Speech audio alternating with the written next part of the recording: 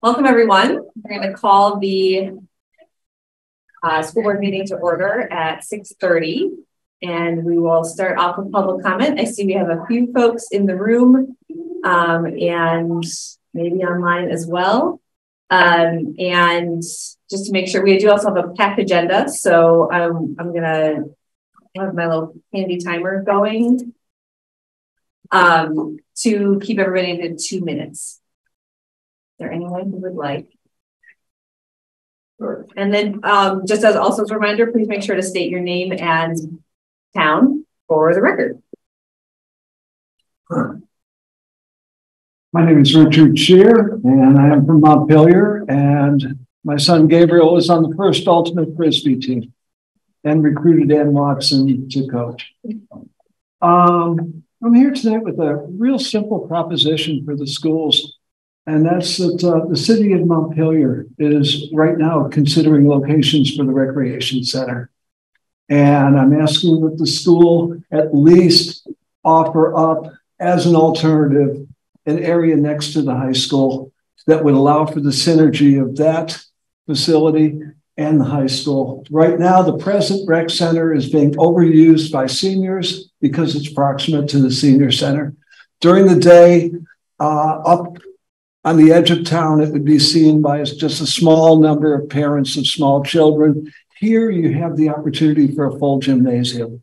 And all you have to do is have it open at nights and allow for parking and on weekends. And I'm just saying, you don't have to make the decision, oh, we want it up here, but just tell the city that at least uh, we would be open to consideration. And that didn't take two minutes.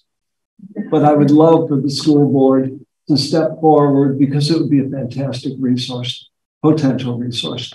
And again, I'm not asking for any kind of commitment whatsoever, except for to contact Bill and say, could you at least look? Thank you. Thank you. Oh, okay. That's all. Thanks much. Just our practice and actually procedure is not to, we don't respond to public comment um, in meetings. So we just listen and um, express gratitude for you showing up. Okay, thank you so much. Thank you. Do we have any other members of the public who want to? Okay. Moving on to the consent agenda then. I move that we approve the consent agenda. Second? Second. Any discussion? I would just like to appreciate the principal's report and. I was gonna say, they put in a report. This is reveals how I'm feeling at this point in the day. Um, but thank you. It's just really to hear all the exciting things happening in the school. There's just like a lot of positive things to celebrate and just kind of taking into like the classrooms and student experiences, you know, bringing us in there with you is just really great. I appreciate, um, you know, I think there's some administrators that maybe don't get in the trenches and appreciate knowing that you're getting out to the schools. So, thank you. Any other discussion? All those in favor? Aye. Oh, I'm not supposed to vote. Uh, any opposed? Okay, great. So we, we have one addition to the agenda, which is to just do a quick overview of the rest of the school year for board meetings. Um, keeping, so the plan for the school board is to hold one of our retreats more early-ish in the summer if we can, given, you know, our schedule, if our schedules line up. And, um, and then the second one to be closer to the end of the summer to the start of the coming school year. And that the retreats would be, uh, the first retreat would be to finally and fully land our priorities, indicators of success, and then goals for, um, you know, relative short term, like one to two year goals. And then the second retreat would be to set up the work plan that would, for the board, that would facilitate us getting to those goals. So I wanted to sh um, share with the board what the rest of our board meetings look like to um, get us to the point where we can have that conversation at the first retreat. um, and what we'll be covering in the next um, upcoming board meetings with, in mind, keeping in mind anything that the board needs to know in order to be able to land our priorities and indicators of success. And then also ask my fellow board members if there's anything missing from this list of, this schedule that we should try and work in. So are you able to share your screen so it goes up there? Um, Thank you. So you can make on. it bigger. Yeah, Hold on. Is this the agenda planning document? Yes. Yeah, the you all yearly- have this. Right, Okay. school board yearly calendar, or, yeah, board yearly, yearly board calendar. So it's also kind of shocking to see how few meetings we have left until the end of the school year. But, right, so for um, this, tonight's meeting, we have the special ed presentation. Then in two weeks, we'll have the, spe- the audit presentation, the results from the needs assessment. We have um, presentation from Jim Birmingham, Birmingham on our um, school, our food service. We're gonna be doing an equity training, which is, um, and now I've lost what the dates are, but I think that's sometime in May. Mid- meeting in May. Mid-May, yeah. Which will be um, around what the board's role is in closing the academic gap, um, which is actually one of our um, priority areas. And then at the end of May, the um, middle school sustainability leadership group has asked to do a presentation to the board. Um, And then the um, June meeting, which happens, I think, mid-June, I think it's June fourteenth, is when we will get the last of the um, data presentations for the school year from our administrators. So all of those are keeping in mind the um, themes that we've already identified for priorities for the board um, and the district, closing the academic gap, um, a community or an an environment that fosters belonging, safety, and wellness, and community engagement. Those are our three main themes. And with those in mind, this is what we've laid out so far, but also wanted to throw it out to board members to know if there's anything more that you would want to include in the lead up to the board retreat in order to be able to land our priorities and indicators of success. And you don't have to answer tonight, because we're just putting all this out there in front of you right now. But if, as you think about that question more over the next couple of days, please email Jim, Libby, and myself so that we can try and work it in. But also, if you have any thoughts right now, I'm happy to hear them and write them down, take note, and see how we can.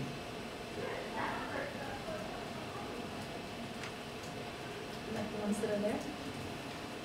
Yeah, it's looking pretty good.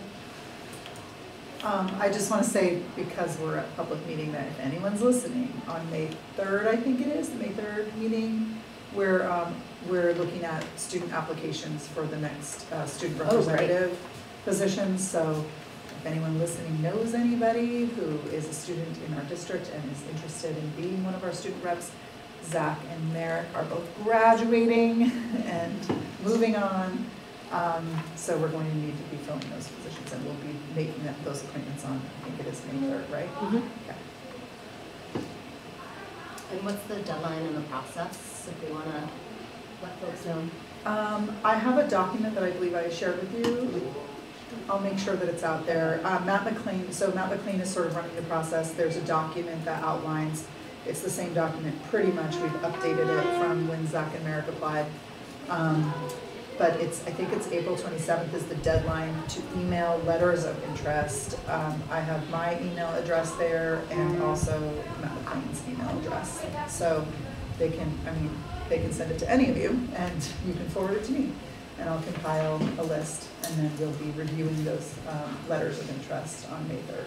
And then ultimately making an appointment, two appointments. How did those openings become known to students? So Matt McLean is, what is his The director of flexible pathways. He is very, At high school. at the high school, yeah, he's very tied to the students. um, And does a lot of this work with the kids, so I'm sure you go out and email blast to students. I Mary? believe, And um, in the Solons Lids and Yeah. the updates. I don't know if it's in, if it's been in the Gator News yet, so I'll check the most recent Gator News. But it goes out into all of the school newsletters, it goes out directly to students via their email addresses. It's, it's, uh, it went out to, um, leadership of student groups, so that they could potentially uh, let their, the students from their groups know. Um, But if you have any other ideas of how it should be put out there. I'll make sure to get that document to all the board members. That was an oversight on my part. Great. All right, thanks. And then, yeah, if other requests or ideas for information um, come to you after this meeting's over, don't forget, just send us an email. We'll try and work it in. There's a, there's a policy recommended by the Vermont uh, School Board Association required. And it, it's parent and family engagement related to Title I schools, and it's really, really massive. And it includes thirty different areas with prompts for community engagement and how that might happen. And we've talked about a, uh, community engagement committee, and I'm, I'm, it's so large and it, and it's so comprehensive that it will, for us to, for us to adopt the policy, once we finally get there, it's gonna take a lot of collaboration with a lot of different levels in the, in the school district. And I don't know if there's a, a place or a process in a board meeting or another way to sort of begin to sort of consider how, because it, it's going to require potentially, and it's, the community engagement committee that we talked about will probably be required to monitor all of the actions that are required by the state board, uh, by the school board association. So it's a, it's a, I'm not sure where it fits into board meetings, um, but it's a massive undertaking. And I think we do a lot of this. Um, and this would formalize some of those processes. But I think it's gonna take a lot of collaboration.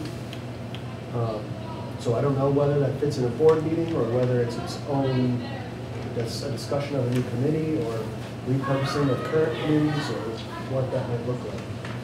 But It sounds like we could use time at the retreat when talking about community engagement, since we've already named it as a priority, to figure out what that looks like. That's, that's what we would be, maybe we would use the policy as, you know, to help ground our indicators of success or something like I that. think, I think it'll guide us well. Is it okay if I just share the link to the whole board of the, the draft?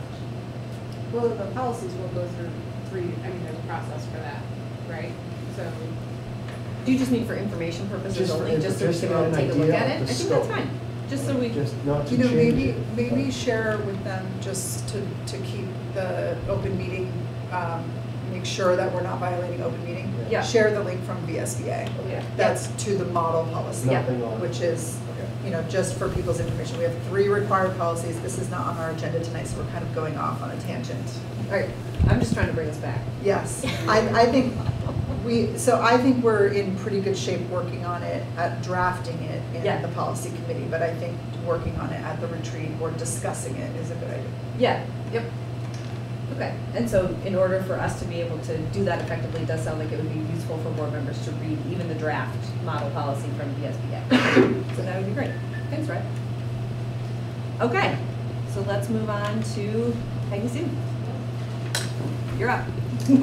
Thank you for being here. of course. Okay, um, so I tried to put together some information about special education to kind of give an overview and provide some detail, but not too much detail. Um, so hopefully this meets what you all were hoping, um, or what you were looking for. Whoops. Um, so Libby, you're gonna be my Vanna? Yeah, Okay, all right, you can skip that one. Okay, so um, when we think about students with disabilities, there are three federal laws that um, we, that encompass most of the work that we do, and so I'm not going to go into them in great detail, but I wanted to just identify what those are. So we have um, IDEA, which is the Individuals with Disabilities Education Act. Um, that is what special education rules fall under and laws fall under. Um, that was reauthorized in 2004 and uh, most recently amended in 2015. Um, there's the Section 504 of the Rehabilitation Act of 1973, and then the um, American with Disability Act of 1990. And so I'm going to just briefly talk about those to just put some context.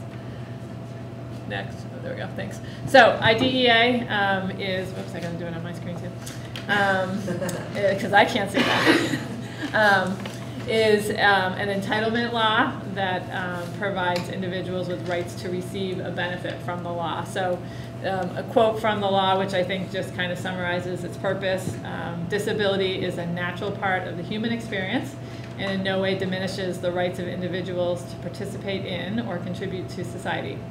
Improving educational results for children with disabilities is an essential element of our national policy of ensuring equality of opportunity, full participation, independent living, and economic self-sufficiency for individuals with disabilities. So again, this is where the federal laws um, around special education services, services come, and we'll talk more about that. Um, the next law, Section 504, um, is something that actually started um, because of Vietnam vets, um, and it's an anti-discrimination law, and it's really about making sure that we're not um, that we're not discriminate, discriminating against people with disabilities, and we're making sure they have equal access um, to participate in and benefit from any programs that uh, receive federal assistance. And then ADA, which came in 1990, is also anti-discrimination and basically extended those protections um, to um, include things that don't necessarily require um, or get federal financial assistance. So um, those are the three federal laws. So in Vermont, um, we have the Vermont Special Education Rules, um, which we that are taken from the federal law. We have to follow the federal laws at a minimum, and then in Vermont, there are some things that are obviously different um, that I'll talk a little bit about. Um, these rules were most recently updated in July of last year, although some parts have been um, delayed and will be implemented this coming July um, because there was a concern in the field that people weren't ready for the changes some of the changes. Um, so those rules were open because the funding for special education had changed, so they had to open them up for that. And when they did that, um, there were opportunities for public comment and also um, the people at the Agency of Ed to think about best practices and things that had been learned um, since the last time they were opened. And so there were a lot of changes that were made. Some of the most significant changes um, were around special education eligibility. Uh, so there's a lot of um, change around what specific learning disability looks like and determining that. That isn't coming in effect until July uh, this year. Um, there are some changes around adverse effects, and I'm going to talk about these things more in detail, um, which also is not until July. Um, they changed the definition of specially designed instruction and who can provide it. That one is currently in effect. Uh, functional skills has been added as a basic skill area, and I'll talk about that more in, as we go through. And there are also more specific opportunities for parental input. So parents obviously have always been a big part of it, but now there are specific um, places where you're documenting clearly um, the input of parents. So, specially designed instruction, that is really what special education is about. Um, this is the definition of it. Uh, I'm not going to read it all to you, but the, the two parts that I want to highlight is that it, the purpose of specially designed instruction is to address the unique needs of the child that results from their disability and to ensure access that that child has access to the gen ed curriculum. So um, that they can work towards meeting the same standards that all students should be meeting or, or asked or hope that we're hoping to have them meet. Okay. So, how does a student become eligible for special education in Vermont? Currently, there are three gates. I don't know where the word gates came from, but that is how we tend to talk about it um, in Vermont that need to be met for a student to qualify for special education. So we have to look at disability, we have to look at the adverse effect of that disability, and then is there a need for specialized instruction? So the first gate is, does a child have a disability? This is a list of the categories of disability that are in the federal and the Vermont rules. Um, with each of these categories, there are specific criteria and questions that you need to answer. um, to make that determination around whether or not um, a child qualifies under this disability category. Um, I did put a note on here, there's a lot of conversation around dyslexia. Dyslexia is listed as one of the conditions that fall under specific learning disability. So if a child is diagnosed with dyslexia, their special education paperwork is gonna say specific learning disability because that's what the category, category is in the Vermont reg. So they're, for the purpose of special education, they're kind of the same terms, but the, the term that is um, used in the regs is specific learning disability. So, so if a student has a disability, then a team needs to decide, does that disability have an adverse effect on their educational performance? Currently in Vermont, and I say currently because it's changing after July, um, the way that adverse effect is defined is you have to look at the lowest 15th percentile rank. This gets into a lot of things. Lowest 15th percentile rank compared to same grade peers in at least one basic skill area, and basic skill areas are up there, that you can show with three pieces of evidence, three different pieces of evidence, and there are six categories of evidence. It's a very complicated, it's, it's a lot. But anyway, that's what it is right now. So right now, we have to look at, compared to other students in the same grade, is there an adverse effect, and it's demonstrated by this.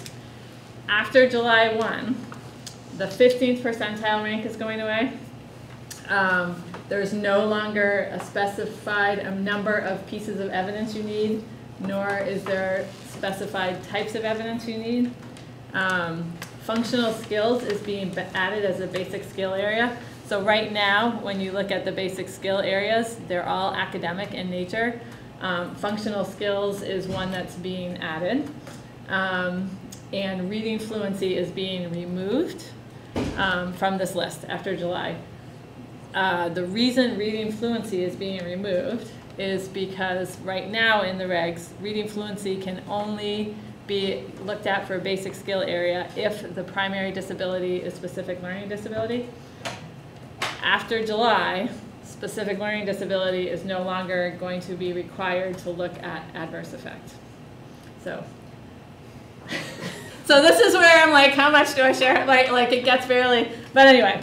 So. Can you say that last sentence again? No, I don't know what I said. yeah. So after so so after July, Yeah, specific learning disability and actually deaf blindness are two areas that the rules have changed so the teams no longer have to look at adverse effect in determining eligibility. So it doesn't need that second gate. It doesn't need a second Only gate. the one. Right. And the the first gate, the third gate still to be yes. Okay. The first gate for specific learning disability has gotten much broader and really like it's the adverse effects is kind of built into the process that you're going to have to do to look at specific learning disability. So that's why that's removed. And so the reading reading fluency, the reason reading fluency is removed is because at, right now it's only for a specific learning disability. And the general idea here is that it's gonna make it a little easier to identify if someone needs. Um, not necessarily easier. Um, I think it's just a more. So you mean why are they pulling away the adverse effect? Yeah. That's a good question. So it used to be there wasn't the 15th percentile rank um, criteria. It was just is the disability impact having an adverse impact? And so there are lots of ways people looked at it, and I think they were trying to um, make things more consistent across schools with le- with less um, room for interpretation. So they put this 15th percentile rank in, and they and they talked about functional skills also needing to be considered, but not as a separate area.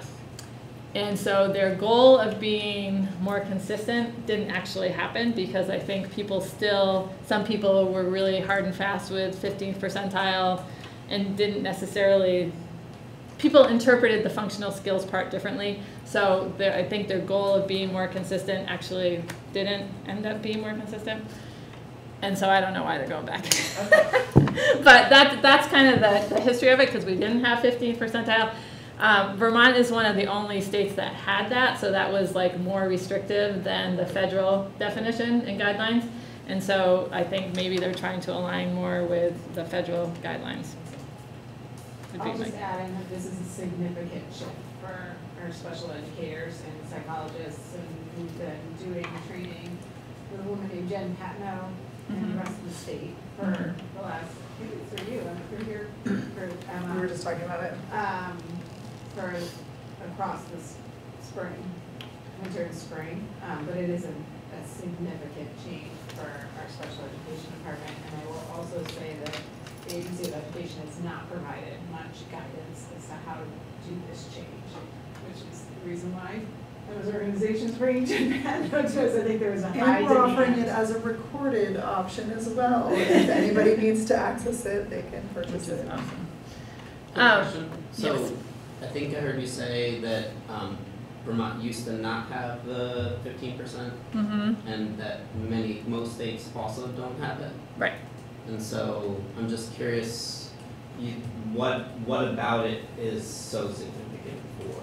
Because it's a different way to identify students. Mhm. Um, and- So wait, can I answer this? Because Yeah, you're, please. the, the, there's two big significant, one of the things is the adverse effect that's really significant. The other really significant change is the way that specific learning disability is looked at, which is a lot of what we've done in those trainings. So there has been an option, um, and many places, um, in Vermont used what was called the discrepancy model. So you looked at a student's cognitive level, you looked at their academic achievement level, and if there was a gap of a certain range, then you said that because of this discrepancy, that a, a student had a specific learning disability.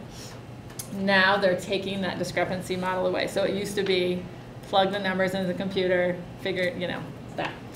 That now no longer is an option, and so what it, the wording is around, um, and I'm gonna, I don't know the exact wording of the law, but basically what we're looking at now is looking at cognitive, um, patterns of strengths and weaknesses and/or a response to intervention model to look at learning disabilities and determine that. And so that requires us to look at, um, to, it, it becomes a little grayer in a sense, which again, but it's more, um, I would say it's probably more genuine to really understanding um, children and how they learn and digging deeper into um, the way their brains work versus being able to give tests and plug in numbers and make a thing. So that I would say is the biggest change probably is that for a lot of districts in Vermont, um, especially districts without school psychologists, um, that um, that was a that's that's a big change. We are so happy to have school psychologist next year because she is going to be critical in making sure that we're doing this in a way um, that you know with her expertise is going to be great. So that is a big change, and then the adverse effect part is a big change because it's not as clear cut with that just that again that mathematical. Um, so um, yeah. And, and the board will recognize the response to intervention piece, that we have to show, we have to show evidence of that. So all the work we've been doing around the tier three in particular systems, um, particularly our elementary schools, is gonna be really key to this process. Right, so if we're, in order for us to determine that a student has a specific learning disability, we have to essentially prove that they had really good first instruction, that they had additional, like a sec- second dip of that first instruction, that then we did intervention, that then, you know, like, that they're not responding to all of these things, and that our interventions are getting more targeted and more focused on how they learn as individual students. Yeah, for those of you who've been on the board for a while, that should sound familiar, right? Because that's what we've been working to create. Yeah. Can I ask two quick questions? Yeah. Um, am I picking up on that this is a challenging but not necessarily bad change overall? Are we, are we happy with this change? Are special educators happy with ch- this change or is this problematic? I don't think it's problematic. I think it's a different way of working, um, and I think it's there. There is um, a concern, not because they don't want to meet kids' needs, but that there's going to be a significant increase in the referrals, which we already have this year, um, and also, you know, so the grayer things are, the more difficult it is to make sure that we are, you know. Um, following what we need to follow, kids are getting what they need to get. It just, it, I think it's uncomfortable because it's new and people want to make sure that we're doing it right. Um, and the, one of the things that's interesting is the state hasn't said, you need to do it this way. They've said, you can choose by the district. So it doesn't necessarily mean that there's going to be more consistency between school districts because every district is kind of figuring out how they're going to do it. And then my other, thank you. Yeah. My other just quick question was, does this have any impact on students that are already at some point in their education? Like, do students that are already under a plan, for example, have to have it revisited and revisited No, no, no, no. So, um, when you are, um, when you receive special education services, there's a requirement that every three years you have a reevaluation to determine if there's still that need of service. So, as people's reevaluation dates come up, there could be a change in what that process looks like for students. And part of what the new law also says is there's more um, ability to say, like, we already know this kid has a disability, we don't need to keep checking that part. So it's really that conversation about need. So there might be less um, repeat of testing that we've probably done every three years for a while because now we can look and say, yep, we still all agree that based on the way they're presenting in school that this disability category makes sense. So now we just need to talk about, is there still a need for specialized instruction? Okay. So, there we go. The third gate is that need question. So, if a student has a disability that is adversely impacting their educational performance, then the team talks about for gate three, is there a need? Do they require something specialized that's not provided through the system of supports for all students? And so if they say, if, if a team says yes to all three of those gates, then a student is eligible for special education. Um, and then there's a note, which we already talked about, just that after July, um, that specific learning disability and deafblind no longer have to look at adverse effect. The specific learning disability, um, you know, it's just, it's more built in, and deafblind, I think it's just a no-brainer. Like, if you're deaf and blind, there's likely an adverse effect and you're gonna need some special education. Um, so, once that happens, then a team gets together to develop an individual education program or an IEP. Um, IEPs are developed as a team. There are required team members, and that's the list there. So you need a special educator, classroom teacher, your caregivers, obviously, um, the student um, when appropriate, an LEA representative, which is someone from the school district who can make decisions about resources, um, and then related service providers um, as appropriate, and other people with knowledge. So if there are other people that the caregivers or that, work with the student that the um, team feels like would be important to have their input, then they would come to the meeting. Um, IEPs are reviewed at least annually and updated. Um, there are several components to IEPs. So you talk about the present level. So what is the student's educational performance? What do they look like functionally? Um, what is the impact of their disability? What are their strengths, their needs? Um, if there's medical information, that's important for um, teams to know. And this, this document is really about creating a plan that is information for anyone working with the students in the schools as well as obviously the parents, but really, um, you know, making sure that this is information so that someone working with the student has a good picture of the student and the impact of their disability. Um, there is a new parent input uh, section that uh, is on the IEP that's currently started, that started last July. That is just a place to really be clear about what the parents want to make sure is in that plan. Um, and then you identify goals and objectives uh, for the student and then think about what services the students needs in order to meet those goals that have been identified. Um, we talk about accommodations and modifications. I'll talk a little bit more about what those are. And then for students who are um, turning 16 or older, you, there's a post-secondary transition plan requirement. So we have a requirement to work with students in high school um, in identifying what they want to do after high school and then looking at what do we need to do while they're in high school to help them work towards those goals. And so there's a requirement around making sure that we are uh, working with community partners and that kind of stuff to make sure that students are set up for what they want to do after high school, which not many 15-year-olds know what they want to do. So that's always fun to, to work on those plans. Um, there's also an independent living component part of that. So it's work, looking at um, education, at work, and then at independent living. And so really making sure that we are um, providing students what they need. Um, and then, uh, oh, I just made a note that when we're thinking about IEPs, that we're really thinking and um, identifying the impact of the disability. That's what we're really looking at and trying to address through an IEP. Questions about that? That was a lot. Uh, just a couple key terms to think about um, within special education. So we talk about accommodations a lot.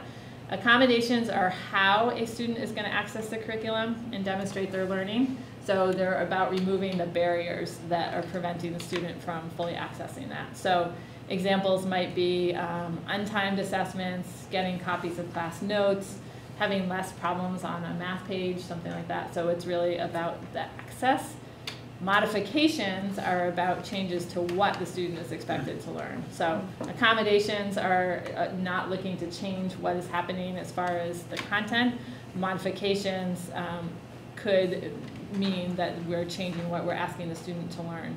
So um, a couple examples, like if a class is working on writing paragraphs to express themselves, an individual student might be working on writing a sentence to express themselves um, or uh, classes learning like standard units of measurement for weight and length, and an individual student could be learning heavy versus light, long versus short. So looking at what is the grade level um, expectation, and then kind of backing that out to where is the student right now, and making sure that that's how they're accessing that content.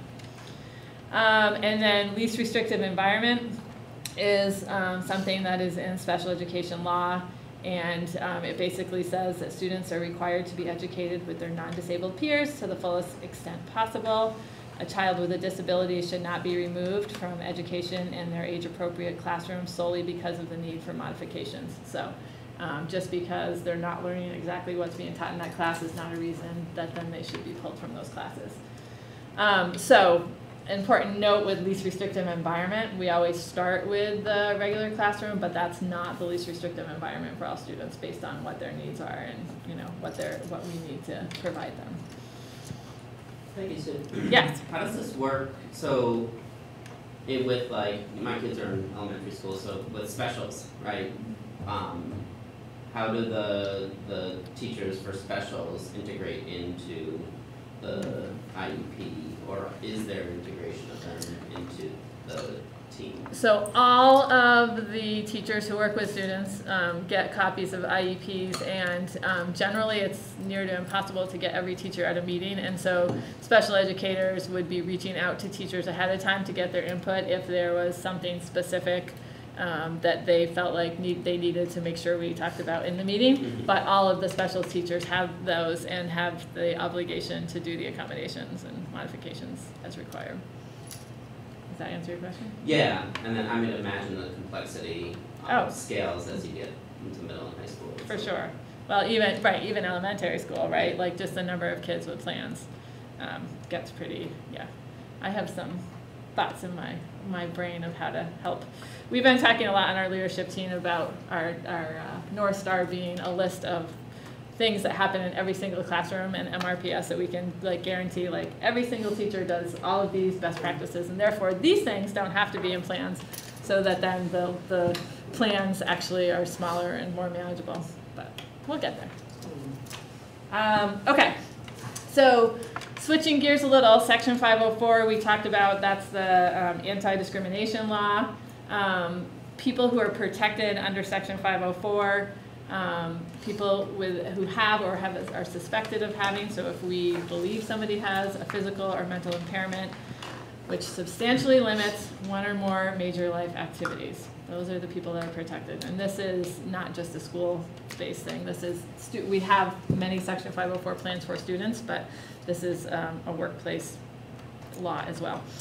So, um, mental or physical impairment, um, we don't often, the, there's not a lot of testing necessarily done by the school districts around Section 504 plans. Generally, we are getting information from um, PCP, physicians or counselors or things like that about students coming in.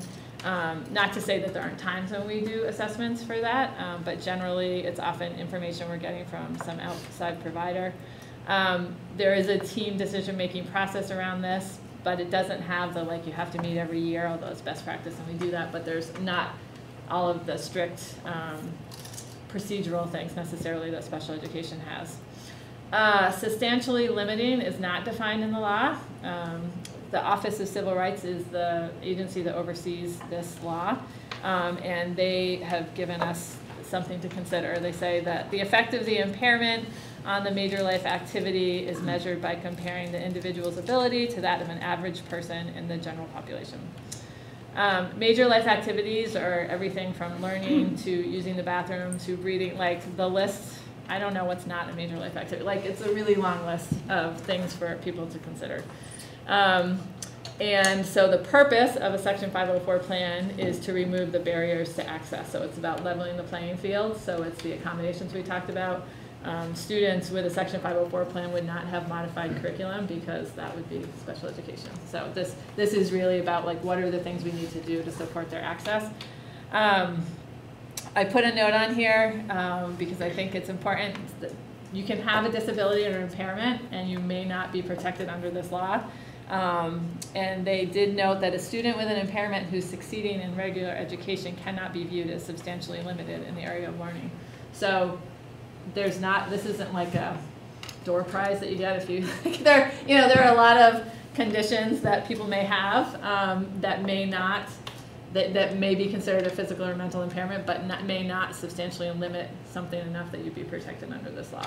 So there still is a process, and the team really needs to consider the impact of that disability to decide if someone's protected under that law. Does that make sense? Okay. Brett, you have a question? Yeah, this is, a- it's something that's not defined by law. Does that mean that it's gonna be interpreted very differently across districts? And does it mean that, And across. Welcome to and, education. and, and does it mean that there's disagreement among special educa- educators and disagreement between educators and caregivers? And Thank you for can saying that. caregivers, can caregivers push really hard if they're of the belief that this is gonna help?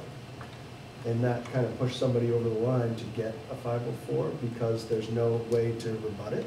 Or, So there's always a way to rebut it, and we certainly want to work with caregivers. Um, one of the things I should say, Section 504 is actually a general education law. It's not special education. It is about people with disabilities, but it's general education. So um, we happen to have a special educator at the high school who oversees Section 504, but in the uh, other schools, are, it's the school counselors that are the 504 case managers. So I just want to say that. And yes, so one of the things that's really important is to have um, a caregiver be a part of that conversation because we may not be seeing the impact in the way that you are at home. And so really making sure that we're having those conversations. Um, one of the things that we ask, so more than once in my 26 years have I gotten like a doctor's little notepad that just says Johnny has ADHD, give him a 504 plan. That's not helpful. So like what I want to know is how is ADHD manifesting in Johnny? Like what are the things that we should be looking for to address? Because that's what we need to figure out, right? Like so great he has ADHD, but what does that look like for him? And then what are the barriers that we need to remove? So if we're able to identify barriers, then absolutely we're going to have a plan. I don't I mean I think that there yeah, and then, you know, the, uh, the, Office of Civil Rights, not that that's where you want to go, please come see me first. But, um, you know, if you had some kind of concern or, you know, were feeling like, you know, this was something that you, you really felt like your child needed, um, and, you know, had information that backed that up, then we would have that conversation and figure it out. Um, the other thing that's important to know is that, um, the SAT company, we have no control over what they do for accommodations. And so um, a lot of students, when they get to high school, people are looking for them to have accommodations on those tests. And all we can do is send in what we have and then they make those decisions. Likewise, when you go to college, you can take special education and the day you graduate from high school. Section 504 is something that can go into the workplace and go into you know, college, et cetera. But again, that's about what the college decides. Like we don't like we us writing a plan doesn't guarantee that like that's what's going to happen in college. Um, so sometimes there are more requests in high school, I think, because people are getting nervous about leaving the protections of like the smaller place where their kids are known or whatever. And so, um, yeah. Does that answer your question? Kind of. Um, I mean, there's, there's, right, I mean, I think it's the conversation, right? It's, uh, it, yeah, there isn't a clear, like, the fifteenth percentile thing, right? Like, that's, um, but if, I would say, like, we're not go, there's no reason for us not to provide a student a five oh four plan if there is a need for it. Like, it doesn't, you know, because there's not services attached to it, like, it's not going to, I mean, there's just, and we, not that that's why we'd make decisions anyway, but like, there's, like, if a student needs that support and that access, we're gonna figure out how to get that to them. I didn't answer your question though. No, I think so, I Okay. think so. The, the difference is the, the, the, essentially the resources needed to meet the plan. This is something that you can share with a classroom teacher, and you don't need to have a special educator Right. necessarily providing the Right. instruction or supplementing the Right. instruction. The only types of services that generally would, that I've seen in five oh four plans would be things like, um, if there's a teacher of the deaf who's providing some kind of consultation or, uh, you know, things like that. But for the most part, there's not generally services. It really is about just the access part. Got it, yeah. Yeah. And all of, all of these plans also go into any, um, after-school, anything that the school facilitates. So if there's students, if your child is on a sports team that's run by the school, then, um, the section five oh four plan should be shared and that kind of. You know what concerns me a little bit about this is the vagueness of the changes, or that, that the things are a little more vague, it seems. Um, That could just be me. Yeah, no, no, I, I think they're loosening up or they're more open to interpretation is how I'm feeling about what you're describing. And so, uh, um, we all know that it's expensive, right?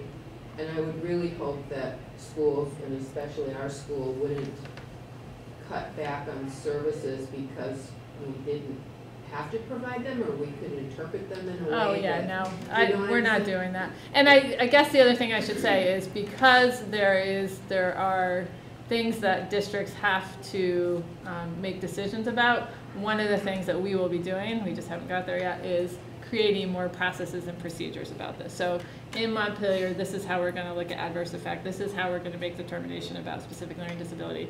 Um, and that's work that the team that's been going to those trainings are gonna do, and then with our new school psychologist, we're gonna, we need her expertise in that. Um, so we will be coming up with like procedures around this stuff so that there is some consistency. Um, that's actually something that I've been doing despite all of this, is just trying to create more consistency for families and students. So it's not dependent on which person you're working with or what school you're at or whatever, so that there feels like a more consistent experience, because there aren't necessarily a lot of procedures and processes that go across the district at this point. Okay. I think we're getting there. Okay, so just real quickly, how do they overlap? They're both for students with disabilities. They both focus on the impact of disability. They're both federal laws with protections. Um, and I want to point out that just because a student is behind or struggling doesn't mean they have a disability. And so there are requirements um, that, well, one, that's why we have our multi-tiered system of support, so that all kids are getting what they need, and it's not based on just those who have a disability. But it's also um, important, and one of the things that we have to do, especially if we're looking at specific learning disability, is we have to rule out all the other factors before we can say that a student has a disability, uh, learning disability. So things like attendance or disrupted schooling or um, lack of you know, first instruction that's high quality. So like, for example, I went to a different school every year until I was in high school. So I missed geography, like because there wasn't a consistent curriculum somewhere. So along the way, I missed it, right? So looking at, you know, if we have a student who has been to a bunch of schools, for example, and they're struggling to read, we need to provide them some really clear reading instruction before we're going to say that this child has a disability, so that we can rule out the fact that this just, it isn't that they have a disability, but that they just haven't had the opportunity to learn yet. So, um, yeah, just do that. So, uh, what does special education look like in Montpelier? So we make decisions about student needs and services as IEP teams. We always start with the general education classroom um, to ask, can we do that specially designed instruction there? Um, if we can, it might look like the special educator co-planning with the classroom teacher and the teacher providing the service. It could look like the special educator and the teacher providing the instruction together. So just examples. Um, teams talk about does it need to happen in a separate space due to student-specific reasons? And I want to highlight that due to student-specific reasons. So if we are pulling kids out, it's not because it works better for the adult schedules. It's because that's what that student needs. Um, so for example, many students need a quiet, quiet environment to get that really targeted instruction. So we would think about that. And then we look at, um, can it be done in a small group or does it need to be individual? So if we're thinking about being restrictive, individual is more restrictive than small group. So if we can do it in a small group, that is our preference. Um, and then what are the skills that the professional who's providing that instruction need to have? Um, so specially designed instruction should be provided by a professional. Um, in the law, it says IAs can do it in rare cases if it's under the guidance of a special educator. Like that doesn't make sense because we need the professionals to be able to, in the moment, respond to what they're seeing the student provide or give them um, based on their professional knowledge. Um, so has to be by professional. And then teams also talk about how much time do they, does the service need to be in order for the student to progress towards the goals that have been identified. Um, a note here, students should not be pulled from their grade level of first instruction for specially designed instruction. So special education is supplemental to first instruction, not a replacement for it. Just a side note on this, the, the school board is getting a presentation on our ability challenge audit. We got a lot of good feedback around this in particular. Um, so you'll hear a lot of where we need to grow and where our opportunities for, for doing this better at the next board meeting. Having kiddos stay in the classroom, is that the this you're talking about? Uh, this process, like what Oh. does specialized instruction look like at it. MRPS? Um, and where are opportunities to grow our capacity here? We got a lot of really great feedback around that. Yeah, I'm excited for you guys to look that, would be great. Um, so just kind of continuing, what does it look like at Montpelier? So we have some students that get the push-in, in-class services, either individually or small group. Um, some get pull-out services, um, individually or small group, so those are out of class. We have classes that are co-taught, um, by ed teachers with special educators. We have students accessing services through the Sunshine programs, Rise, Shine, and Thrive, which are SEL programs. Um, and then we have students whose least restrictive environment and where they're getting their specialized instruction is in therapeutic independent schools that are outside our district. Currently, the people providing special education services um, in Montpelier, special educators, math and literacy interventionists um, are doing services. We have speech language pathologists doing it, and then school social workers, counselors, and other SEL professionals are doing the special education services that are focused on the social emotional learning part. I have a clarifying question. Yeah. The math and literacy interventionists, Mhm. they obviously would be aware of the the IEP plan, for example. And do they have special education backgrounds? So the, um, they have specialty in the areas that they're Right. intervening. Right. So in some cases, they actually have more specialized training than maybe special educators who are more generalist. And so that's part of the conversation that IEP teams have around like what is the skill set that someone needs. Uh-huh. We try not to pull them too much because if we pull them all to special education, we kind of ruin our great system that Mike and Libby have been working on for the last several years. Right, Uh, having them at the tier three. yes. For even kids who don't have a disability. Right. Yeah. Yeah. So so there's some of that happening, but that is definitely um, not what you know not what our preference is. And we're, I'm working with Mike and the principals next year and looking at kind of with our the change in how special education funding worked really works. Um, really being able to look at even maximizing that more. So there might be special educators providing intervention, you know, like really looking at how do we maximize the resources that we have and the um, specialties that we have. Yeah, just because somebody's a special educator does not mean they're an expert in all the needs a kid has, right? So I have a special education degree, and I would, I would have been considered a great person to work with somebody with reading needs.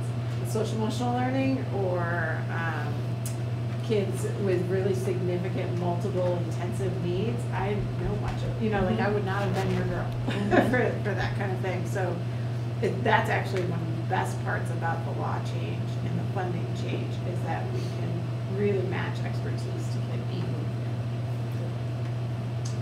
Um, the next slide, just talks a little bit about related services, just because if it's something you've heard. So, um, in addition to special education services, oftentimes there are students that require related services, and those are services that they need to benefit from their special education services. So, um, we have students that get occupational therapy support, um, physical therapy, speech therapy, counseling, um, audiology, there's a whole list here.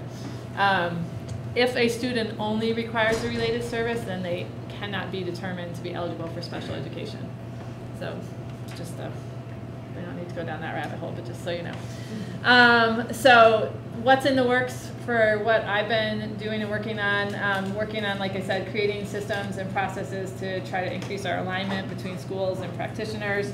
Um, working on looking at our allocation of resources to make sure that we are just they're distributed based on student need and not just like we've always had this person at the school, therefore that's where they need to be. Um, PD opportunities, professional development for special educators and classroom teachers around um, differentiating instruction and growing instructional practices. And then working with Mike and Jess um, to enhance our MTSS system, so that system of support um, and providing PD um, to increase understanding about disabilities. Um, things that were still to come, um, opportunities for parent training and involvement, um, rolling out the needs assessment. So um, we've been doing that. We're doing that with our staff right now and ahead of it coming out in public and to the board. Um, so, and then identifying and confirming our priorities based on that information. And um, I know one of the things that uh, the board has asked for that I'm still racking my brain around is um, how do we measure overall success for special education? Um, we have a new system of called Panorama next year that I haven't gotten into too much, but I'm hoping there's some data thing there that maybe will help with that.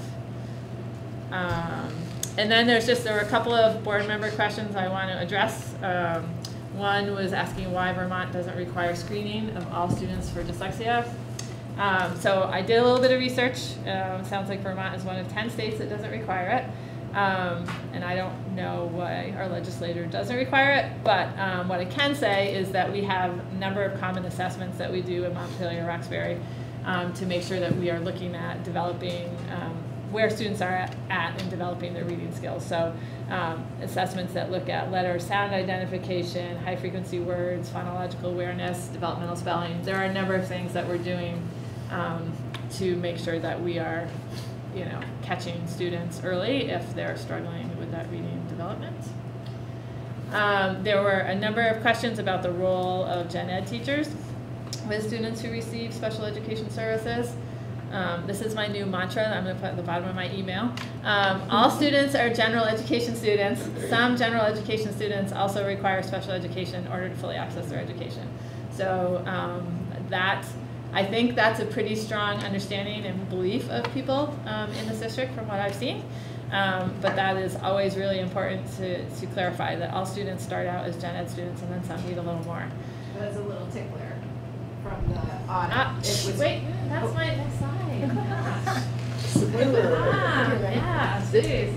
Um, so classroom teachers um, have a mandate to make sure that um, all students have access to the general ed curriculum, regardless of disability. Um, they are required to implement accommodations and modifications as described in IEPs. They are required members of evaluation and IEP teams. Um, teachers collaborate uh, on a regular basis and co-plan with special educators. So the teachers are more the content experts and the special educators are the access experts, so that's why that co-planning is so important. Um, and then teachers track and provide data about student progress in their gen ed curriculum and share observations about how they see students' disabilities impacting them. And, as Libby was trying to say, spoiler alert, um, so, so at the next board meeting, um, the folks from Ability Challenge will be here. Um, and many of the questions that were answered or were asked will be answered through their, um, their report. Um, this is what Libby was going to say. Um, one of the quotes that we were really excited about was that the MRPS community is its greatest asset. Leaders and teachers believe in foundational mindsets of authentic inclusion. Students are thoughtful, curious, and eager to learn, and families are incredibly dedicated to ensuring that their children get the services they need. Um, they loved our students. They really enjoyed spending time with our students, which was great to hear. Um, and you know, I will say that it felt um, it was great. The needs assessment was great and really confirmed for our team. I think that we're on the right track with the work that we have identified as priorities. And I always appreciate having data to agree with what I think. And, and I was gonna say, Oh. we have the belief, the foundational belief Yes. of a, of strong inclusion, which is a huge hurdle that we've been working on. And we have a lot of work to do as to how to actually do it. So a lot of capacity building in specialized instruction and when we give that and what it looks like and, and that kind of thing. So that, you know, the, the belief is sometimes the harder part Yeah. honestly. Um, so I was super excited to see that, and, and we just got really good information. So I'm excited for the board to hear from Kristen and Sarah. Sarah. I can never remember Sarah's name. And I have to say, when you get the report, if you print it, for some reason, That the was eyes, there. no, it wasn't. It, they printed it in the middle school too. Some of the eyes don't print in the report, even though they're on the digital copy. And Paula actually figured out it's after the letter F. Anytime there's an F, for some reason, the I after it doesn't print. So just know that on the, the report you get, they're all in there, but for some reason, when you print, I don't know why. She's Just been obsessed about this. I, I had to go through and write in all the I's in my report because it was driving me crazy. How many pages is this report? 68. No. Yeah, Oh, goodness. it's great. It's You a lot of added eyes. data. Yeah. After every. Well, app. as I was reading, yeah, I see. just, you know, I had to. All right, I think that was it for me. Thank you very much. Thank you for being here. And, and, I mean, we're gonna ask you to come back, I, I think, in a couple weeks too. There, so appreciate you spending all this time with us to, to give the board this kind of information. For me, it was really helpful to be able to then make meaning of what we're gonna see in a couple of weeks, to have this foundational understanding. So really appreciate the time you put into that. Follow-up questions from folks? Emma? Um, yeah, thank you. This is, it's a lot to, I mean, you know, this is a really comprehensive overview of how things function. And I've sat through a lot of trainings as a fly on the wall. And I think that this is really, really well done. So thank you for that. Um, I'm also, you know, one of the notes that I wrote down and then was glad to see in your presentation is some sort of like parental involvement. Yeah. I think that anytime that there's a change to how things are done, it can create anxiety for people and concerns. And I think, um, you know, some of those concerns were brought up uh, by Lynn. Um, you know, it can kind of go either way, like are too many kids get qualifying or are we using the discretion to qualify too many kids or we're using the discretion to like deny kids services and I think those concerns are going to be raised by the community. And so I think if we can kind of get out ahead of that in some way with and it seems like you're already thinking about that, but Yeah, I mean, I think we have to figure out what our procedures are and, then, yes, absolutely look for opportunities to, um, to, to share that with parents. Um, yes, that's, and, and other practices too, right? Just, there are things this year that, you know, we've discovered, like, I, this is what happened when I was, Yeah. last year for me, and it didn't happen this year, so I assume that one of these people isn't doing their job right, and they're both doing their job right just differently. So trying to get more consistency, so there isn't that feeling of, you know, I mean, this is your, your children, right? It's your most precious thing, so yeah. we want to make sure that parents know that we are there teaming with them, and, you know, we're gonna do what we need to do for their kids. Yeah, and thanks for taking the initiative too. It sounds like um, developing, you know, district-wide procedures and sort of a clarity and transparency around the way that this district interprets and, and works with, the- within the law is going to be very helpful, I think. It's the goal.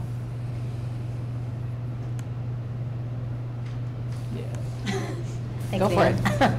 Um, I feel like when any sort of law change happens, there's a new initiative, it lands in different ways for different people. And I'm curious how these changes, and maybe some of them are anticipated, because it sounds like these have sort of been like way late a year Yeah. to kind of get ready. But um, like, where is there excitement? Where is there like trepidation, you know, in these new, maybe neither of those things exist, but it certainly sounds like it's going to change your change how you do work, right? Um, so I'm just curious, like where there might be excitement or trepidation within the um, within the special education world, and then most importantly, I'm curious what your opinion on is where this where these changes are going to benefit students.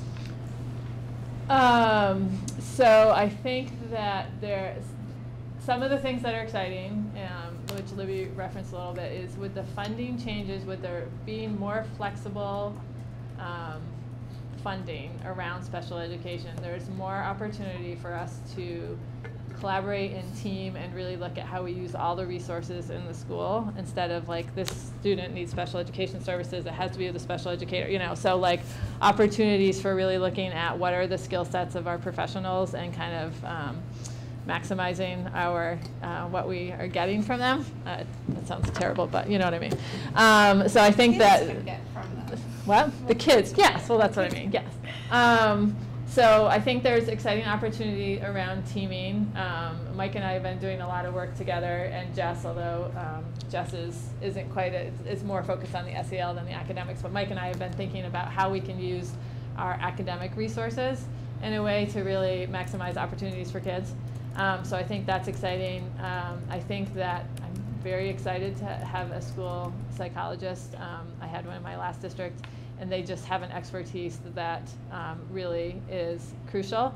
And there's a big difference between um, contracting with someone who comes in and does testing and gives a report, and someone who can be at the meetings, who can consult with the teams after, and really help people um, understand how kids' brains are working, or you know what is the information that they're able to dig in to. Um, I think that the trepidation, I think that people are doing a lot of great work, but not necessarily having documented. Like I think about classroom teachers, there's a lot of um, documentation requirement around some of this at those levels that they're already they're doing the work but aren't necessarily documenting it's just built into how they practice and so that part probably is going to feel uncomfortable and take some like getting used to and feeling like they're under a microscope, right?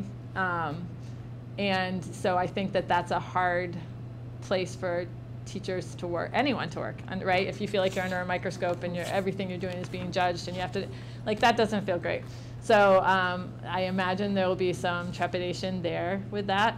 Um, I think the functional skills piece is something that's really uh, important. I think there's a lot of advocacy from people with children with autism um, because there are a number of people with autism who didn't necessarily hit that 15th percentile academically, the lowest 15th percentile, but that there's a need, and so those needs have been um, addressed mostly through Section 504, and now there will be more um, opportunities for direct instruction. So I think that that, um, and the SEL world as well. I think that, you know, I think having Jess's position and really having someone be able to focus on building up those support systems is huge and crucial for kids. And so I think that that's great. So if it seems like this could kind of cast a like a wider net could be cast by way of of um, these new laws, are you assessing just sort of like the capacity of our existing special education staff to field that those potential increases, and are we looking at recommended changes or increases? I just need to hire people. Libby tells me not to stress yet, but I'm a little stressed. Um, there aren't a lot of special educators out there. Right. Um, so And everybody is looking for the ones. everyone's like, I know, it's not just here, it's everywhere. Yeah. Um, I think that, you know, it's not gonna all be in place for next year, but I think there are opportunities kind of looking more long-term around specialization. So if there becomes a point where special educators are hard to find, then do we look at having them do the, like someone specialized in just the case management piece, and then we find people that are math and literacy intervention, you know, like, are there, Mm, there are other mhm. ways that we can be flexible to Right. make sure that student needs are getting met? Um, so thinking about that stuff for sure. Um, right now, trying to think about uh, ways that people can collaborate more and like what are who are the resources that we have right now without you know trying that first and trying to fill in those empty vacant spots that have been vacant all year. And there, there, well, we're gonna have to have some hard conversations around delivery model. Um, and, and is it working? Is it effective? Um, or do just the adults like it?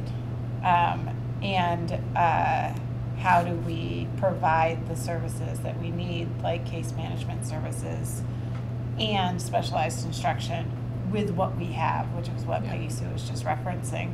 And there are going to be some hard conversations, most definitely, um, with our staff and leaders around how to make this possible.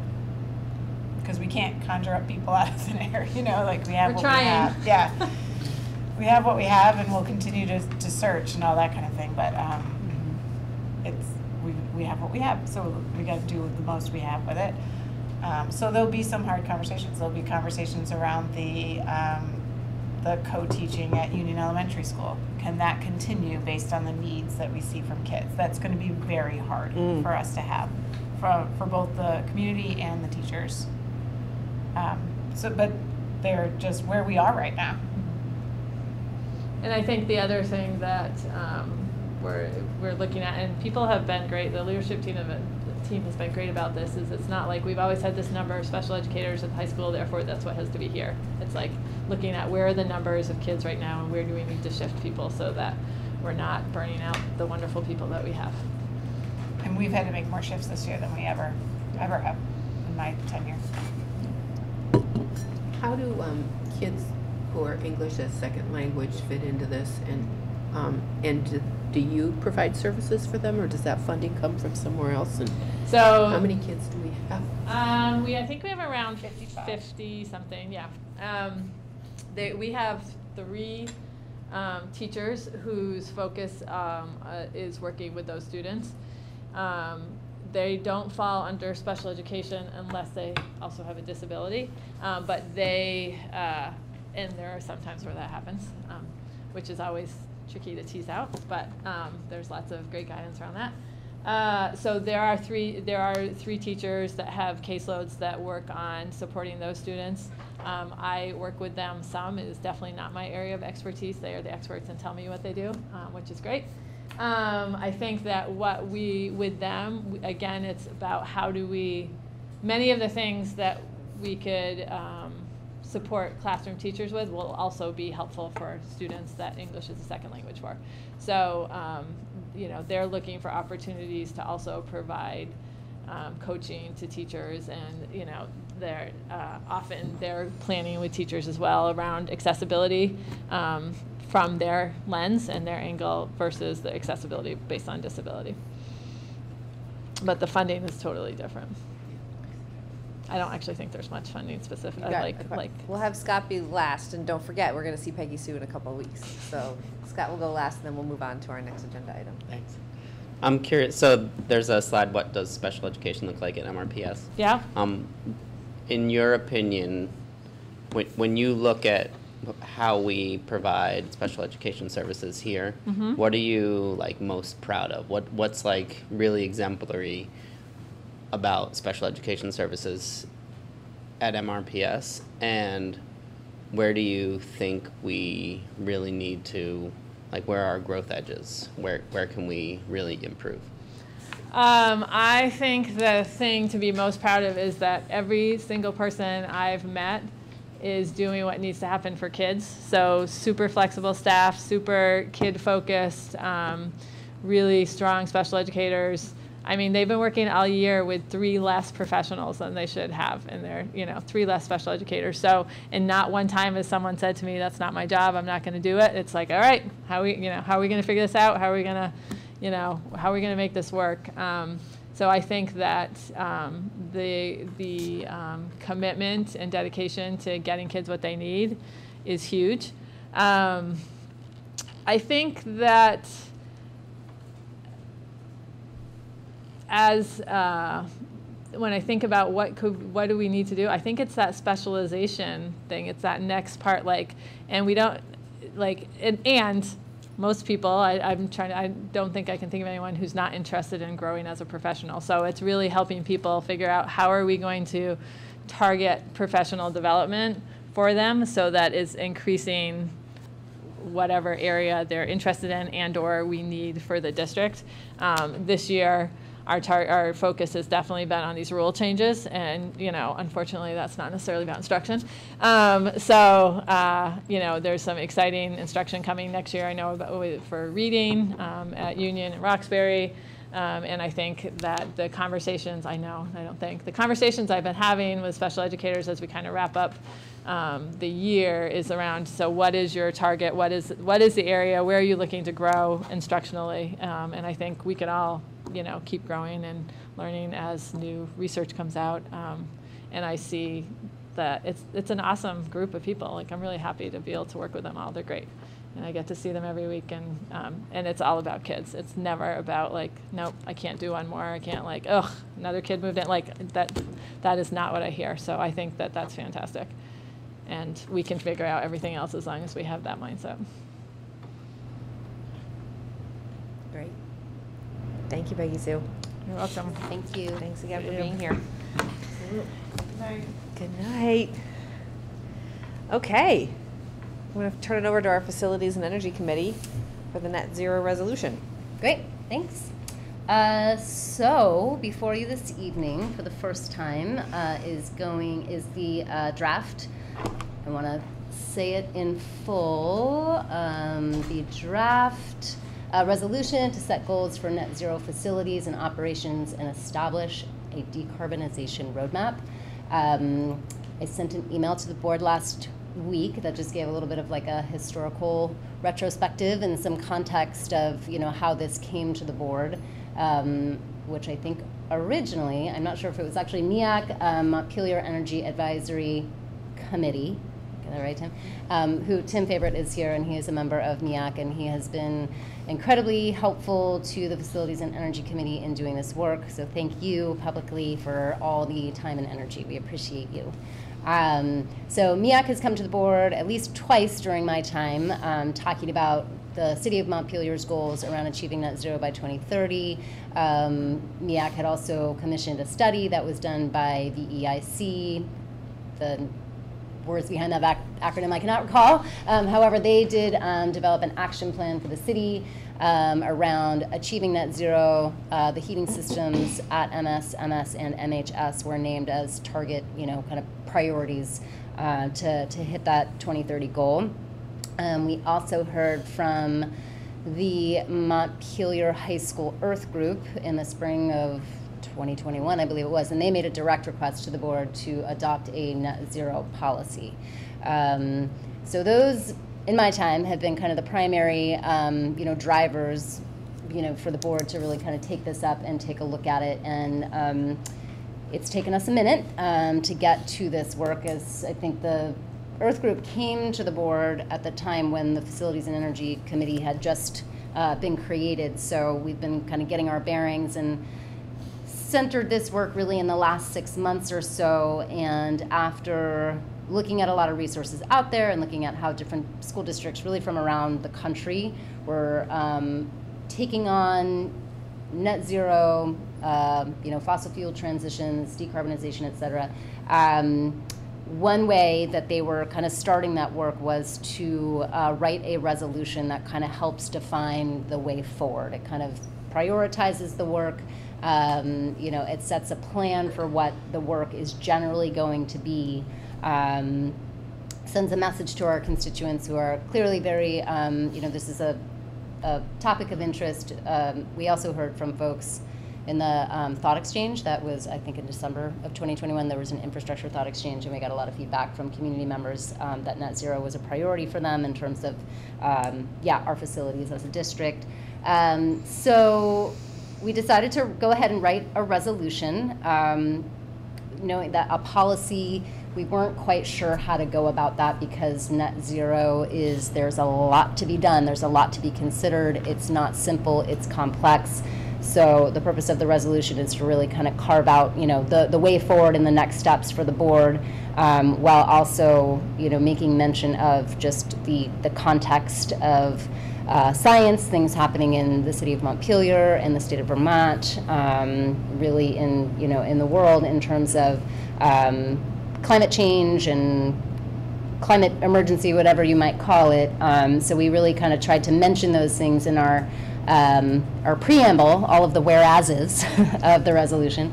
Um, and um, within the resolution, we get into, you know, setting that, um, that goal of net zero facilities and operations by 2030, um, which, uh, you know, and kind of teaming up with the, the city, you know, what they're considering net zero is really eliminating um, fossil fuels uh, as a source for um, heating and transportation. Um, and then we talk a bit about, hopefully you've all read it, uh, you know, we talk about the need for kind of a, a decarbonization plan, like a way in which that we would go about, um, you know, doing this, doing this work. You know, we've worked closely with Andrew um, LaRosa and getting his feedback. And I think something that Andrew has asked of us is, you know, how do I make these decisions? There's many decisions to make in terms of keeping our you know, facilities up and running and up to snuff and there's repairs that need to be made, how do I go about making a decision and pulling in, you know, the net zero goal piece? Like he's asking for some guidance from us to do that um, because there are dollars and cents attached to all of those decisions. So,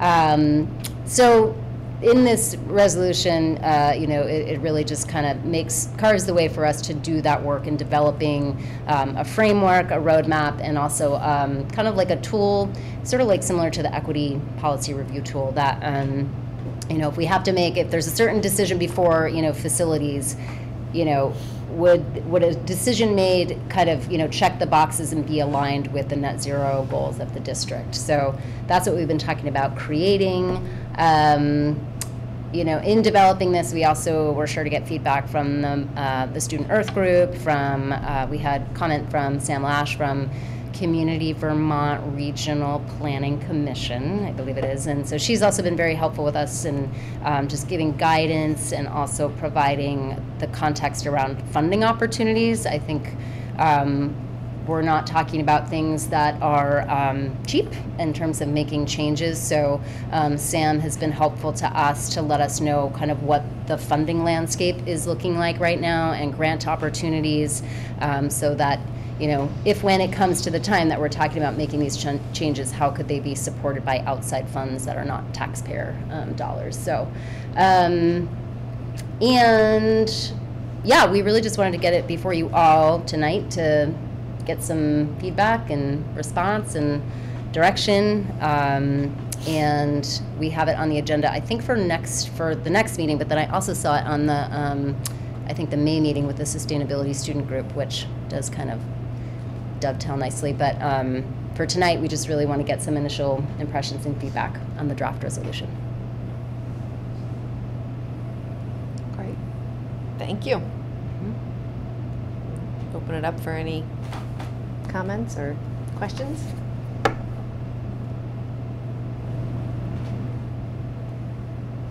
I want to give a huge shout out to Kristen for leading our committee in this work.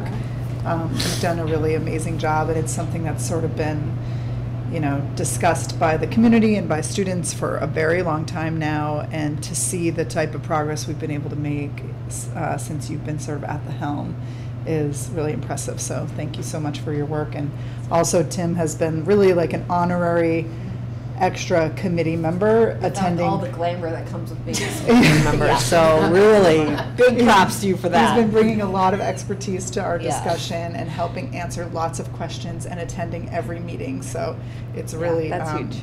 you know, he deserves a huge thank you for all of that work.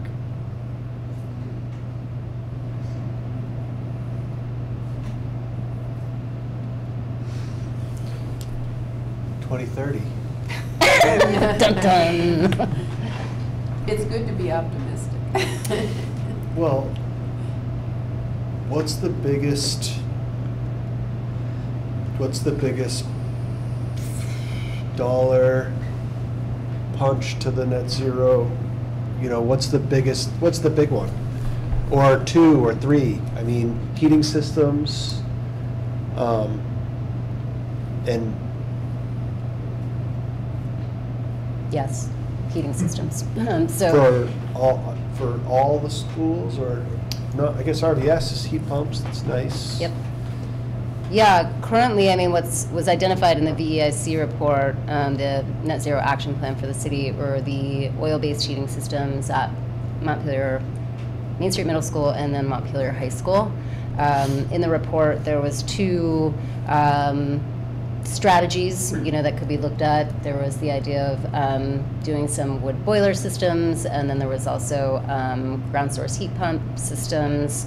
Um, interestingly, it does seem like there is some backing away from the idea of wood chip um, boiler systems, just the general kind of discussion and narrative around them. Um, you know, folks are, are walking back from that. You know, is it a sustainable source? You know, looking at, at you know the carbon emissions piece, does it really balance out?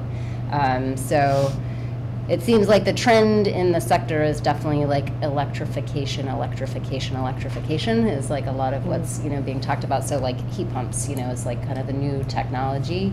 Um, so I'm not a professional in this. You know, I'm a I'm a what do we call that?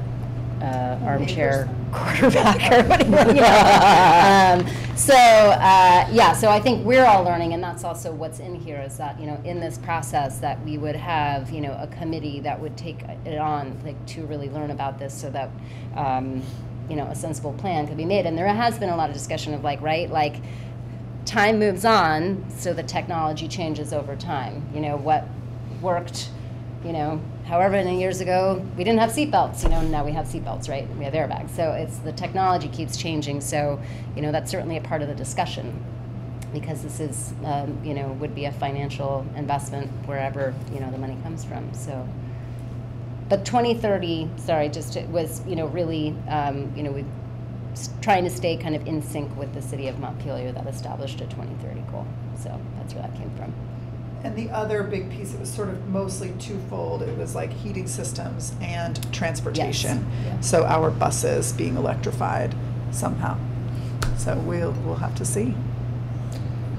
I mean, the Inflation Act, yes does that have a time frame? Because that was a tremendous amount of Yeah. federal resources that I don't know, I don't know, but Tim, do There's a you lot of remember? resources. Because that is what Sam has been saying, that there's a lot of funding kind of packed inside of that, that is, um, could be accessible. Right, there, yeah, there's a number of, yeah, there's a lot of money coming out in the next, you know, couple of years, I believe, um, that, that should open up. But like, I think, yeah, Lib- Libby and Andrew already found one that, yeah, that seemed promising, a little that didn't pan out, but I'm sure that there'll be others. Does Montpelier own its buses, or do we contract out for that? Contract out.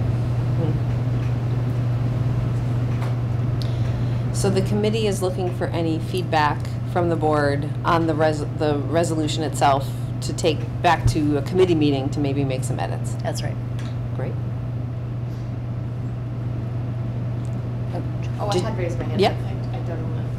I think another piece to Rhett's question that I remember hearing Andrew say in the past is there's also a lot of like, if there isn't just like one or two like huge things, there's also like a bunch of little things that may not seem as glamorous or as obvious, right? Like replacing light bulbs that are a different way or like repairing something and making it last longer, that there are like other less exciting moves that could be part of that like strategy about how to, Windows. like, yes, Yeah. yes, exactly. Mm-hmm.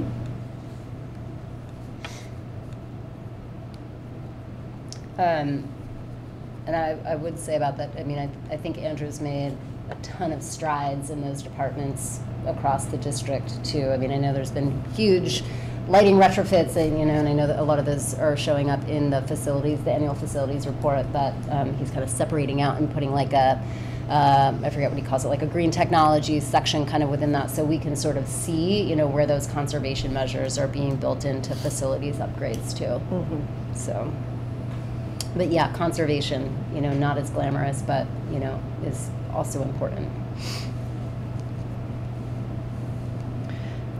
I just had a few comments, which one was, the goal is really impressive, um, strong and ambitious, and that, that's, I think that's great. And I think it makes sense because that it's uh, aligned with what the city of Montpelier is doing, since three of our buildings are located in, inside of Montpelier.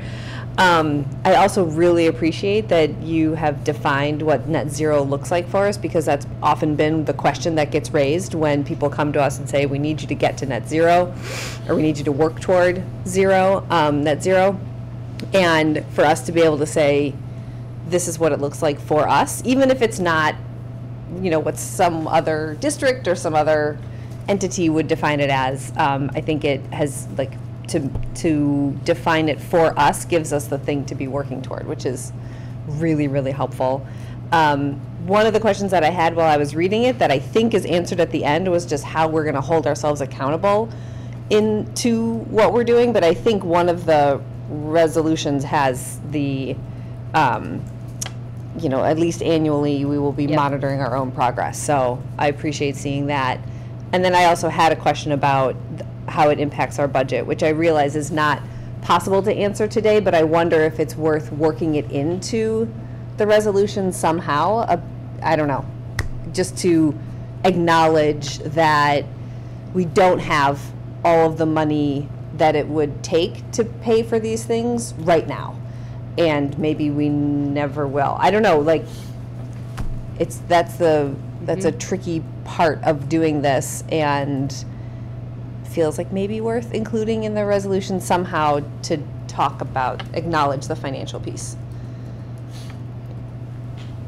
I think one area that we, we address it somewhat, and you can, you know, tell me if, if, you know, if, if it wants to be more, because I get it that that is a, that is a glaring reality, right, is the cost of which and the fact that our budget relies on taxpayer money. Um, in the second, uh, be it resolved, uh, you know, we talk about just changes that would be made, would, you know, be made based upon reasonability within budgetary. It mentions that, so doesn't really get specific beyond that. However, Right. that, that, that is an important variable in any kind of decision-making. Um, But, um, yeah, I've made a note, I'll think about it, yeah. I- I don't think it says anything about external funding. Um, Does it? I thought we had put that in there. Um, I think we had, uh, in a whereas section, the last whereas, uh, there, whereas as of 2023, there are unprecedented federal funding opportunities available for energy infrastructure upgrades. Um, so we, we name that the, you know, the funding environment right now is more flush than usual. um, but let me um, let me go back through and see external funding. I mean, I think that that's, Yeah, a pursuit of yeah. hmm In terms of where we are now, how do we move forward and take advantage of that funding? You know what I mean? Because it's not gonna be there forever. The big bucks. Yeah, yeah. Yeah, Andrew's always on the lookout, and the agency of Education with Jill Briggs Campbell, who's one of our parents. We are lucky to have her as one of our parents, gives us the heads up as well when the state learns of, she works at the Agency of Education in this world, um, and she gives us a heads up. When grants are coming along. Yeah, she's awesome. And you feel like you're at, at a point, or maybe this is a question for Andrew, I don't know, but that if that kind of funding comes up, we can jump on it and, Andrew's very good at that. So what Tim was alluding to was a monster grant opportunity that he we learned about in a meeting, and I think Grant had a, or Andrew had a proposal for it within a week to get out there. So he he's pretty quick like On that. it. Yeah. great.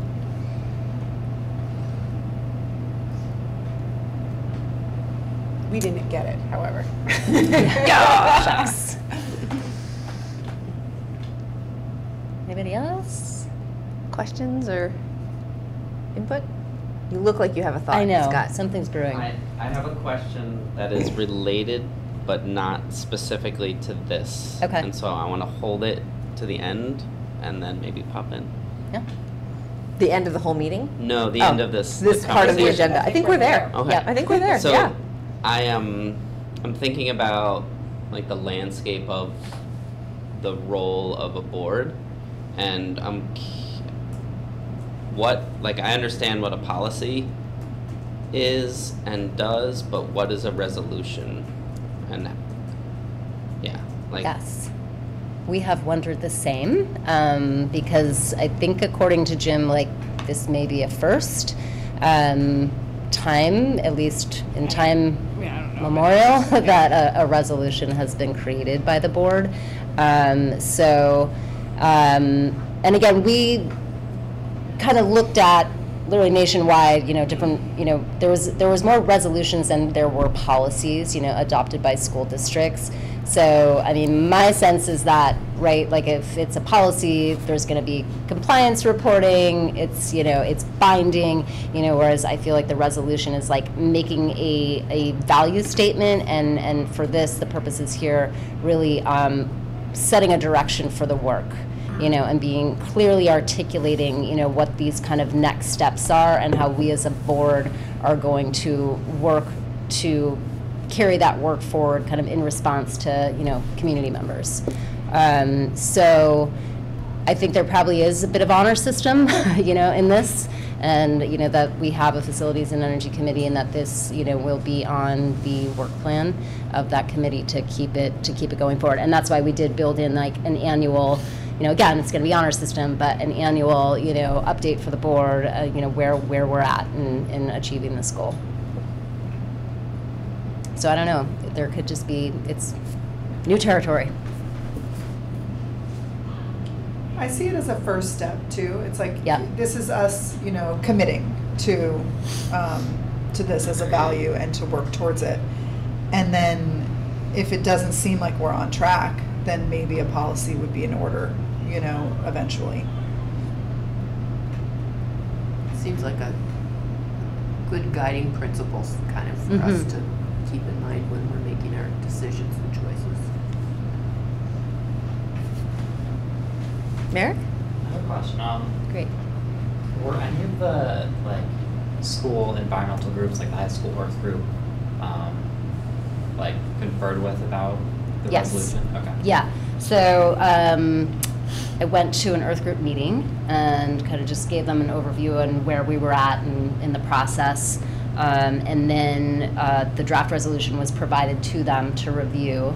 Um, they gave us um, some written feedback, and they were also invited to kind of like a reviewer meeting um, where folks just around the table kind of shared, you know, their feedback. And we had two members uh, attend uh, that meeting, and then I also gave the second resolution to those folks, and I did share it with um, Tom Sabo, who's the coordinator for the Earth Group, and I just, I did it today, which I, I meant to get it to him last week, it just got lost in the shuffle. But we do have additional time to hear from, it's not being, you know, it's not up for approval tonight, but um, I'll follow up with Tom again to make sure that, for sure they've seen it.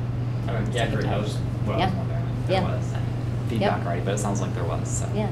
Also, the, you know, really the origin story of the work that started with the board kind of, um, I mean, I'm sure there were rumblings about it prior to that big Earth Group presentation. Mhm. But when they, when the student group presented to us, how many years ago? It was March of Two- 2020, I think it was my first years. meeting, I think, or Two second meeting, ago. so yeah, 2021. So when, when that presentation happened, I feel like that was really the, like, the impetus to move this work forward more quickly. So I, I would attribute the momentum around this topic uh, directly to the students that gave that presentation that day. So I think the next step then is to take any feedback and then, you know, we may be coming back to the next meeting for approval. So anything between now and then, please follow up with us and um, we'll get it to you in advance of the next meeting. Great. Thank you again Yeah. for the great work. Okay, so now we're moving on to monitoring two policies, the one on budget execution and the one on diversity, equity, and inclusion. Um, And this uh, requires board action to approve the monitoring reports. Have a motion? I move to approve the two monitoring reports. Thank you. Is there a second? I'll second that. Right. Any discussion? I want to, oh, Yep. want to start? I just want to thank Libby again for just um, sort of an honest assessment of the diversity, equity, and inclusion Yeah. policy and being willing to say that we have work to do there, um, you know, publicly in, in that capacity. So I appreciate, thank you, Tim. And remind us of things we have done, like the, Yeah. uh, you know, support we gave to the statewide Mhm. weighting work, uh, you know, equitable eight weighting work. Yeah, and giving very specific, detailed explanation of sort of like where, what we've done and, and what we need to do. Yeah. The work that we're going to be doing. So thank you for that. Kristen, did you have something? Yeah, I, um, in some ways it was a little bit more of a, a, a question or comment for the board. You know, I mean, part of that policy is, is a board responsibility, um, in terms of, you know, asks the board to, I think, do like an annual review of policies, like with an equity lens. You know, we haven't done that work in a concerted way. The equity committee did create a policy review tool, but then didn't actually do kind of a full sweep of all the policies. Um, so I was just thinking about that in terms of what pieces does the board need to take on um, in terms of that piece, and then I think we're I, we're also responsible for training, or We right? need to do a training for ourselves. Right. So, and I know we have one coming up, but, um, so yeah, I was just specifically thinking about the policy review, and this is maybe like a question down the line for the policy committee, and kind of where that process is, and maybe a question also for the equity committee of how, you know, do we, taking another look at that equi- equity policy review tool and thinking about how that could be kind of leveraged in that process that we have not yet completed or started, for that matter. So, Um, I will say that we have been using the equity. Oh, great. um, Tool. great. And we actually just, at, at our, after our last meeting, we decided, and I know we, we spoke of that tool as being sort of a living document that could be changed. So what we're going to try to do for our next round of required policies that Rhett mentioned, there's three of them, um, is where we transferred that tool into a Google form Mm-hmm. because we were finding it a little challenging, even just like sort of like little technical formatting issues Yeah. of like losing the headers while you're typing down below and then having to go back and, and read the headers. so just stuff like that and, Yeah, and so totally. we we put it in we transcribed it into a Google form to hopefully make it more user friendly and we're going to practice using it and see how that works out. That's But, um, fabulous. But we have been using it. I mean, I will say that um, to do a full read with that tool of all of our policies would be very, very time consuming. And we've been, you know, we've been doing it as we go. So we did it with the library policy and we did it with the five new board policies. And we're doing it now with these three. So like we're d- using it as we go. Mhm. But if we wanted to uh, make a more concerted effort to go through, you know, all the policies, we might need to start spreading the love into other committees for that work. Um, But so far, I think it's been a helpful tool to, Great. to start, you Great. know, it's a starting, a good starting point. That makes me wonder if it would be worth tweaking the language in the DEI policy a bit to say you use look at every look at every policy that is up for renewal when when up for renewal or when Yeah. getting written Right. Through the equity lens because Right. rather rather Annually. than tasking us with gotta look at every single policy annually unless That's it was lot. like maybe we asked when you do policy monitoring reports we there were like three key questions we asked you to answer that were drawn from that tool or brought in the Doesn't next always work out, I mean, Yeah. mileage. yeah or and, and like something like firearms also Yeah. right so that's another reason i wonder if it's worth tweaking the language a bit Yeah. to maintain the spirit of what is there which Mhm. Yes. makes a lot of sense but not have it be okay we're not we haven't looked at every single policy this year so therefore we're not in compliance with Right. this particular policy I think that's a great suggestion. Um, it, the DEI policy is one of the policies that's on our list of Mhm. priority policies to work on, and it's something that Zach and Merrick have been working on um, in their tenure as student reps. So they've been sort of honing in on the curriculum piece of it. Um, but I would imagine we're kind of waiting for um, new guidance from the state on DEI. And once that comes down, I think we'll be ready to Hmm. um, take another look at our DEI Mhm. policy, at which point we could review that piece. yeah Yeah, Great. the other piece to look at that I'm, every year, I'm like, I don't know how to do that, is the self-identifying factors and how would I report out to the board data around self-ident, like LGBTQ plus. Um, we certainly don't disaggregate our reading and math data along that identifying factor, nor could we. So it's just something else to, Yeah. to think about. any other discussion on these policy monitoring reports?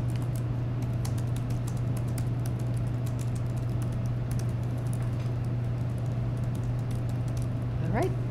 All those in favor of approval? Aye. Aye. Any opposed? I think that's it. Thanks, everybody. Motion to adjourn? So moved. Oh, it's a tie. We'll let Anna figure out who said it. I got the last one. Uh, second? I second. Okay, all those in favor? Aye.